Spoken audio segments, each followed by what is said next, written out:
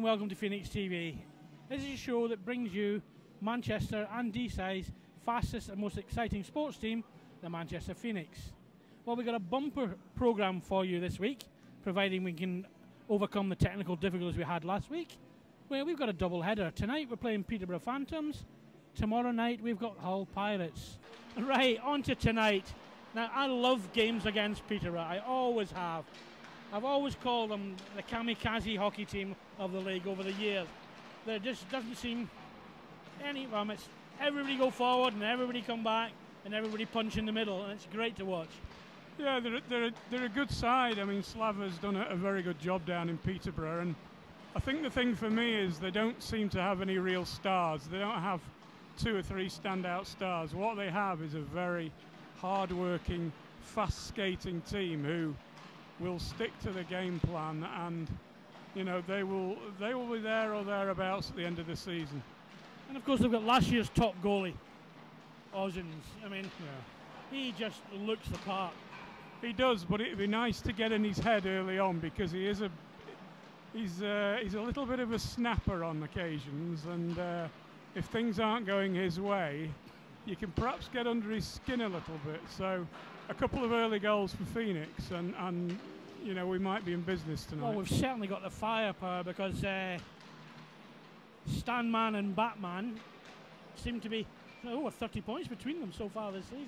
Yeah, it- it's good to uh, to see that one or two of the walking wounded are on the way back. It might take Stan a, a while to uh, to get back up to speed, but um, there's no doubting his, his his quality and his class. And once he's firing on all cylinders, you know, scoring goals has not been a problem for us this season. Uh, and and uh, you know we've not really conceded that many as well. So anything that can give us just that little bit more class going forward is, is going to be beneficial. Because I should say it's actually Michael Satek and uh, Robin that's racking the points up.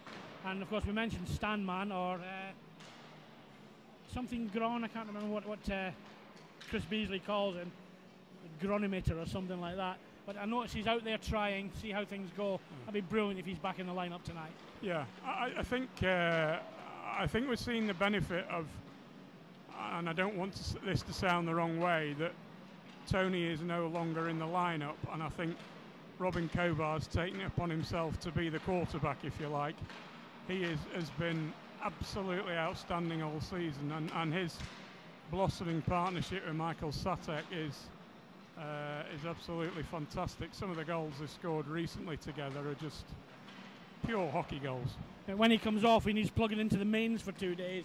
I've noticed that. He he does look very, very tired. He, he is. I mean, criticism has been levelled at him in the past in that he's not uh, too happy at coming back and defending, but he's playing up both ends of the ice this year. He's he's he's taking it upon himself to be the leader on the ice, and he, he is doing a fantastic job for us. Right, we'll talk about uh, Sunday game against Hull a bit later on. I think uh, I say they're out there doing a bit of a warm up at the moment, as you can see behind us. But uh, let's give it a bit of time and then let's go watch some hockey.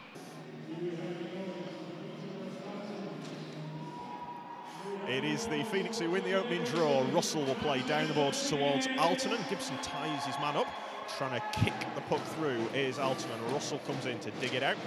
Banked up the boards by Norton. Russell reaches in again. The Phoenix will reel it in with Satek, who goes across the zone to Luke Boothroyd. He will drop down behind the Phoenix goal.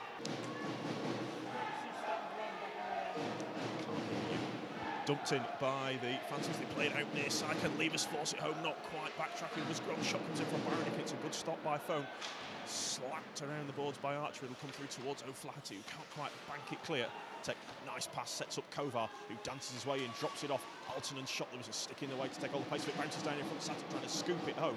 It'll break across towards Alton, but the whistle has gone from Chris Well. Right hand side feeds Levers, who tries to dance his way through. Good stop by Fone out at the top of the crease. Wood forced him wide, and Fone makes speed down the left hand side. Ben Wood lines him up, Baronic towards the front of the net. Tip comes in, and it's off the post and in. Nicely worked two-man break by the Phantoms, and it's James Ferrara who's just got ahead of James Neal, tips it off the post behind Stevie Fone, and the Phantoms take the lead. It's Phoenix nil, Peterborough one. The Phoenix do keep it alive. Satek knocks it down low. Robson knocked down to the ice. Satek setting up behind the goal, sneaking in was Neal, and it's through the crease and out the other side. Kovar gets onto the puck in the corner. In the slot is Satek, and he's forced it home. All sorts of traffic in front of Yanis Auzins, who did not see that one at all. Nico Aaltonen with the screen. It's Michael Satek with the goal, and it's Phoenix 1, Phantoms 1. On his backhand, gets the hash mark, then turns forehand, tries to throw it in front. Peterborough block and get in the way. And there's a foot race there. Gibson driving his way in, makes a little move. Good stop by Fone. He tried to go forehand side, but Fone gets the right pad down. Sharp angle effort is off the blocker of Fone. It bounces down almost off the top of the head of Luke Boothroyd. The Phoenix get in there and it's Gron who knocks it loose, holding, curling at the top of the circle and playing it down low. Chance in front for Weldon who tips it wide near side. Ben Wood gets the hit in and plays the puck up the boards. Robson's kept it alive, scoops it across the zone and down into the corner. Weldon backhands around the board. Scott trying to work it out front and he scores. The Phoenix absolutely all at sea at the back there and Craig Scott manages to force it on the backhand past the pad of Stephen Fone. It's Phoenix 1, Phantoms 2. Bit of open ice, drives his way in. Puck got caught in his skates so it's knocked away. He'll have to chase back hard into the zone as Pliskauskas is tracking in. It'll be Gibson to pick it up behind the net, play back towards Padalek who scores. Again, the Phoenix not picking their men up at the back, and it's a backhander from Alice Padalek that surprised Stephen Fone, gone right through his legs and into the net. It's two quick-fire goals to the Phantoms, and it's Phoenix 1, Peterborough 3. Backhanded ahead towards Weldon, who nicely tips it in. Weldon will go towards the back post as Craig Scott walks in. Weldon scores. Craig Scott holding, holding, nice backdoor pass, and it's Will Weldon who applies the finish. And unfortunately, it's going from bad to worse in the second period for the Manchester Phoenix. It's Phoenix 1, Peterborough 4. Deku comes away with the puck, drives his way around the net moves out as far as the blue line and throws it through traffic. It's wide of the mark. Alton scrapping away. Kovar's there as well. Satek near side, good stop. Rebound chance and they score. Michael Satek it is. Nicely worked around the zone and Satek gets his own rebound. There's that response from the Manchester Phoenix. It's Phoenix 2, Peterborough 4. Pass is reeled in by Padalek, who backhands across the ice. Pliskauskas reels it in. Not offside, say the officials. I'm not entirely convinced. Pliskauskas forced into the balls by Boothroyd, but managed to keep possession. He's got Craig Scott waiting in front. He said it comes out. Robert Ferrara shoots. That was an awkward one for Fone. It was high and almost heading for his ear, but he managed to save, save with his shoulder and hold on. D to James Neal. Down the left hand side he will come. Crosses the blue, stops nicely, flips it through. It's Gron into the zone. He's got Archer with him. Gron keeping, trying to go sharp angle. That was an awkward one for Yanis Auzins, but it flies wide. And Baronet can just flip this one away for Peterborough all the way down to Stephen Fone, He backhands up the board for Gron. Satek stepping inside Padalek has to be a penalty and will indeed be a penalty. Tripping call on Alesh Padalek. That one, two minutes every day of the week. Gron gives to Kovar who drops down onto the goal line. Gron, one time, a good stop by Auzins. The rebound's loose and Auzins gets the glove down. All sorts of skirmishing going on in front of the net as James Archer went digging for that loose puck, but Yanis Auzins managed to get that big glove on it. And James Ferrara coming in to clear the front of the net. Nice with Gron. He's got Boothroyd with him, drops it back. Big shot from Boothroyd. Save is made by Auzins. That puck did come loose. The Phoenix were more than entitled to go for that as it came back off the pad of Auzins, and the Phantoms will all come in and grab hold of a man in front again. And Robson can play it ahead. Levers nicely tipping it through. Two on one for the Phantoms. Pliskauskas down the right hand side as Gibson with him. Plays it across. Gibson shoots and scores. All that Phoenix pressure and it's the Phantoms who break down the ice. This time Pliskauskas got the pass away nice and early, and Lloyd Gibson may well have sealed the deal for Peterborough. It's Phoenix 2, Phantoms 5. Again by McGiffin. The Phantoms will bring it down the ice for one last attack as Beveris down the left-hand side, just holds in the corner, tries to play towards the front of the net. Ben Wood can sweep it away. Puck will break loose. That will do it. And in the end, it was a ropey second period from which the Manchester Phoenix just could not recover against a quality outfit like the Peterborough Phantoms. The opening home game of the weekend is a defeat for the Phoenix. The final score is Manchester Phoenix 2, Peterborough Phantoms 5. Disappointing 5 2 loss to Peterborough Phantoms, but all credit to them Coming to our barn and they played very, very well. I'm here with, uh, I don't know if we can call him an old friend because he, he played for the dark side over with Sheffield Steel Dogs last season and has moved now to, to Peterborough. I'm here with Lloyd Gibson. Hi, Lloyd. How are you doing? You alright? Yeah, moved down here. Was it was it a surprise move or are you ready for a move? Um, just just ready for a move, ready for a bit of a change. And um, when Slava phoned me up in the summer, just couldn't refuse really. So that's how it worked out. Well, you look like you're slotted in well to, to a good side. I mean, very impressed with the is it, Scott. The, Really good, very good signing. Uh, bit of a surprise. No one have, has ever heard of him. Obviously, heard of his dad in Milton Keynes, but he's great. And to be fair to everybody else, fantastic sort of team atmosphere in there, and everybody works for each other. No superstars. there's a few people talking about uh, talking about him last year. I think he ended up going to Nottingham and uh, they sort of didn't keep him very very long, did they? Oh, I'm not sure. no idea. Well, that's that's basically yeah. They, they got him for the champ uh, the Champions League, and then uh, he was left without a club because everybody else had uh, just all up. Barry, we all know about Barry, and Auzins is just he's just a big unit to get the puck past. He's brilliant, absolute best goal in the league by a good distance. But uh, he keeps us in games and gives us a chance to win every night, which is why I moved here. We get a chance to win every night. Keep it tight at the back. We've got guys who will. I think every line scored one or two goals tonight. We've got production off every line, so it's going really well. So you never thought about coming to Manchester then? Tony can give me a call if he wants, but actually I'm happy in Peterborough at the minute. So Uh, I'll talk to you next summer. Yeah, well done. Your team, you made a great start to the season. Uh, moving on from the playoff win from from last year, certainly look, look like a, a, club going going places at the moment. yeah, yeah, it's really exciting. Like I said before, uh, there's no superstars in the team. Everybody does their job. Everybody works hard, and I think everybody's scoring goals. So we can't really complain at it. We're gonna uh, try and push for the title, hopefully. So we're going as hard as we can. Well, congratulations, safe Johnny back, and we'll see you next time. See you next time. Thank you very much. Nico is unbelievable defensively. You can tell he's he's played in really good leagues in that in, in that role. So he doesn't make any mistakes in that in that way. But we we've got we've got a good good set of imports that actually play both ends of the ice this year. And I think that's that's why when we played Milton Keynes at home and we've beaten Guildford at home, it's because it's not just the British guys that are working hard. It is the it is the D the imports. I mean.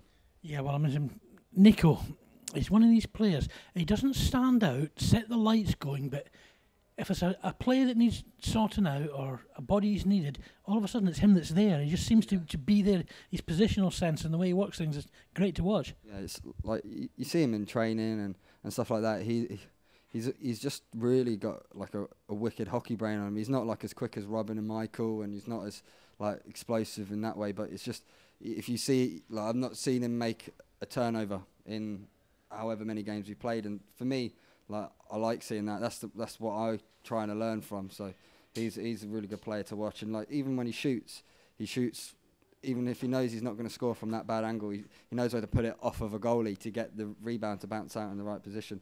But I think like another guy like that is Neely at the moment. He's been on fire for us. He's been our- I think he's been our best British player by an absolute mile for the past six seven games. Like since the season started, he's been unreal for us.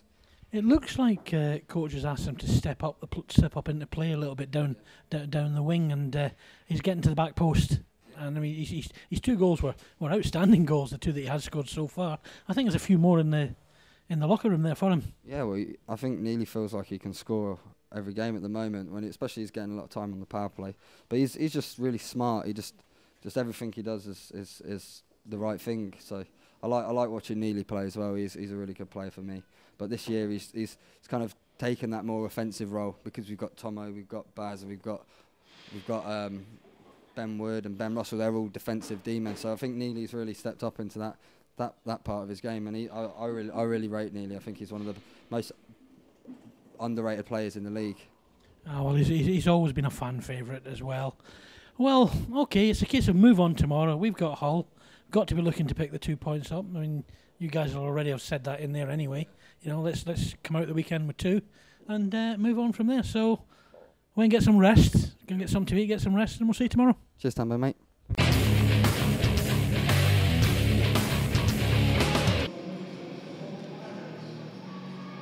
Puck is dropped. We're underway in the first period. Boothroyd plays across to Ben Russell. Tip ahead by Gron. He's off the back of the leg of Tommy Lane, and Thurston can jump down into the zone.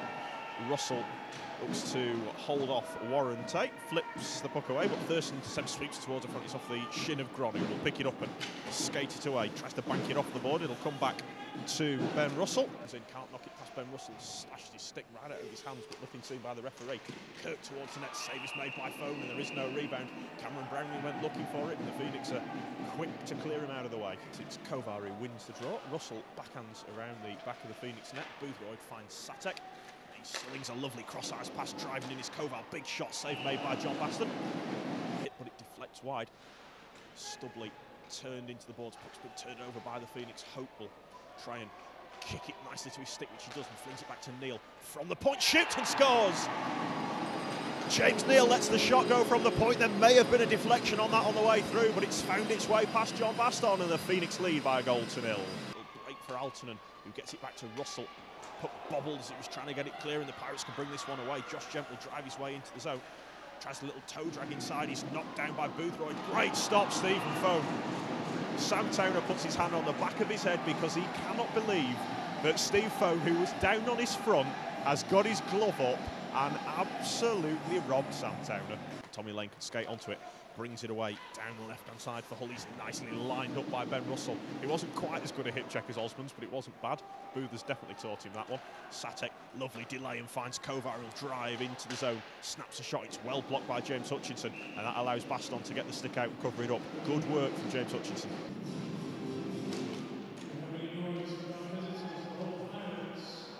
Thank you. I shall do so.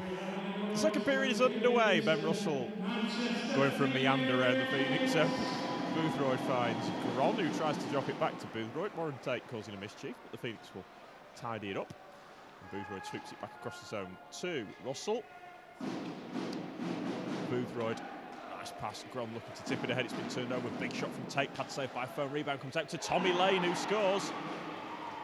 It's all very casual at the back from the Manchester Phoenix, and the big shot from Tate was padded out, but Tommy Lane fires the rebound in, and with 29 seconds gone in the second period, it's Phoenix 1, Pirates 1.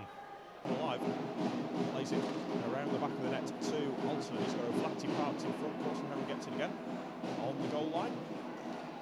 Alton setting up shot behind the goal, now moves out to the hash mark, drops down low towards Kovar. Will pick it up off the boards behind the net, sweeping it out front. Where is it? It's under the pad of John Baston. And he manages to dig it out stop it going across the line. Intercept, he'll just hold, dances his way past Tommy Lane. Down the right hand side he comes. Floats one through, it'll bounce towards Aaltonen. Good stop by Baston. They've got across and denies Nico Aaltonen with the pad. Down the right hand side comes Warren Tate. Boothroyd lines his man up. There's going to be a penalty called here, and I think it might be on the Manchester Phoenix.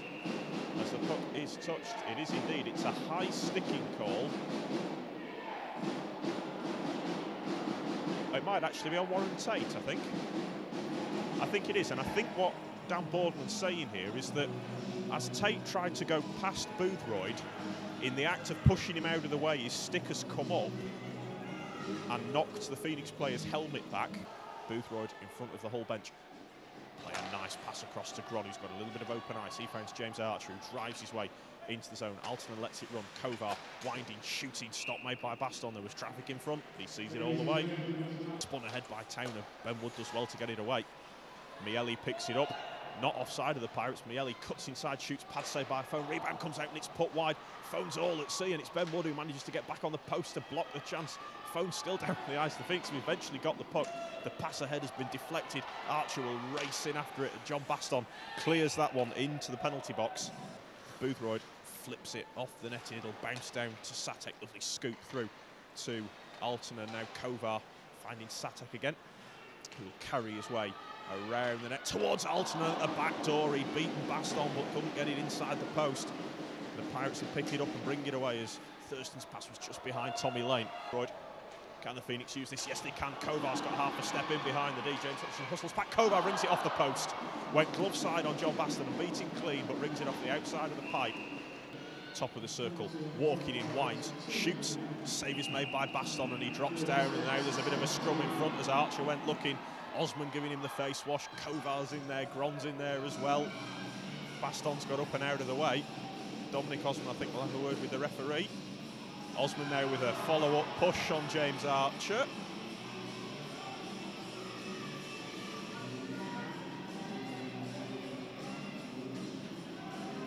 I think we're going to get matching penalties here by the looks of Pirates will set up and bring it away from behind their own net with Jonathan Kirk.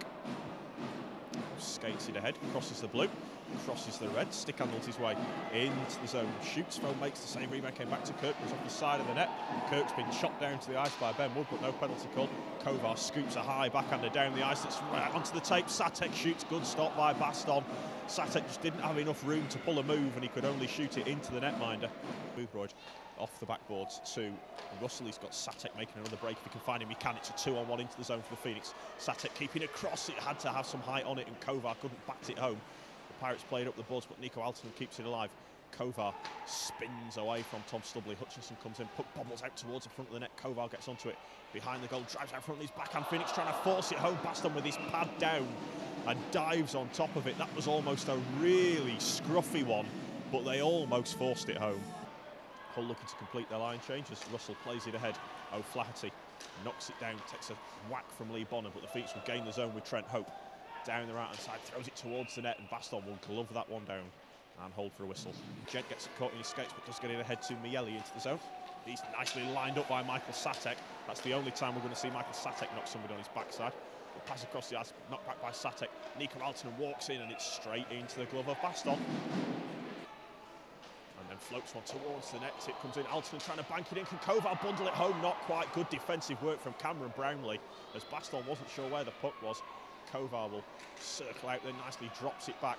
Satek shooting deflection on it, bounces down behind the net. Kovar comes in. Ralph does well to shield the puck and clears it away. Kovar comes in to win the puck, trying to hold off Mario Miele backhands up the boards to Satek, who gives it back to Kovar. Thrown towards the net, that one's hit John Baston square on the head. Kovar, who's got Boothroyd on the point, instead Kovar keeps, works his way around the zone, shoots pad save by Baston, rebounds there for Aaltonen, and again it's Baston with the pad and then the glove to scoop it out of the air.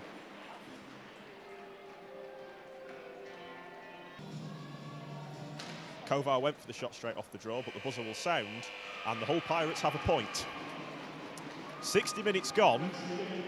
The Phoenix faithful look uh, somewhat um, subdued at this point, but the Hull Pirates and John Baston have secured themselves a point. Off to overtime we go. Phoenix have won the face-off. Satek will drive his way into the zone. He'll carry it around the back of the net on his backhand, curls his way out front, snaps a shot. It's been blocked by Bonner. It'll come outside the line, so Satek will have to curl back. Boothroyd says go left, so Satek does, and he'll drive his way past Craig Thurston. Bonner drops down to one knee.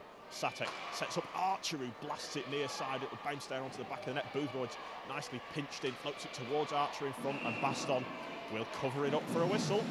The Pirates doing a good job of keeping things to the outside for the time being. Gron's gone towards the net. Can O'Flaherty find him? No. Instead, he plays it round the boards. Gron will pick it up drops it nicely off for James Neal. Neal gets across one timer from Gron, and it's another good stop by Baston. It'll be Thurston and Kovar to take the face off. Kovar wins it. Neal from the blue line carries it down low. He'll try and work the angle. James Neal, sharp angle is straight into the glove of Baston again. Neal had Baston down there. He'd almost be better to try and go across the front of the net, backhanded in, but instead tried to go near side. James Neal will bring the puck away for the Phoenix. It's forced back by Warren Tate. Neal trying to play it. It's been intercepted by Tate, who tries to stuff it in near side. Fone making the stop. Tate will look to curl his way out front and scores. Warren Tate puts it up over the glove of Stephen Fone, and the Hull Pirates have their first win in team history. It's a turnover by James Neal. The Pirates worked it out front, and Warren Tate, the Hull captain, finishes it in overtime. Deeside is absolutely stunned. It's finished. Manchester Phoenix 1, Hull Pirates 2.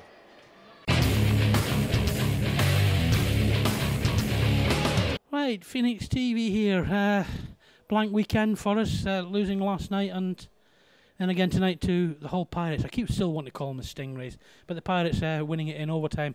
I'm here with their man of the match, uh, John Baston, the netminder.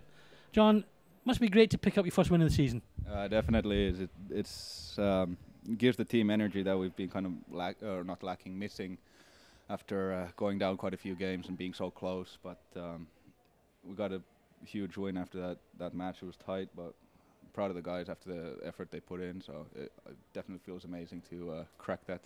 It was a great defensive uh, performance in the third period, especially, but uh, you were still dangerous on the attack. Yeah, we um, we did get pushed into our zone a few times, but we, we kept our cool in our zone. We uh, we played the system, and uh, defense helped me out by pushing the pushing the Phoenix out to the the blue line and such, so that, so that I was able to see those pucks and make those saves. But um, it's just somehow sometimes uh, games go like that. You have to be in our de- defensive zone more than the offensive zone. Just got to grind for those wins.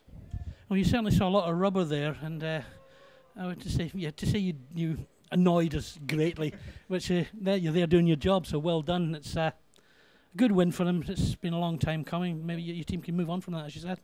Yeah, definitely. Uh, it's it's always easier to get those wins after the first win. It's the first win is always the hardest of the season, and uh, we just haven't had that lucky break, and we finally got got our moment. And um, I have a feeling we'll have many more wins to come during the season now. I hope there's no more against us, but that's uh, just a little bit of uh, bias here. Thanks very much, mate, and uh, all the best. Yeah, thank you, and good luck with the season, guys. Thank you. Right, I'm here with uh, our man of the match, Stevie Fone. Steve, we did everything. We hit them and everything but the kitchen sink and couldn't get it in tonight.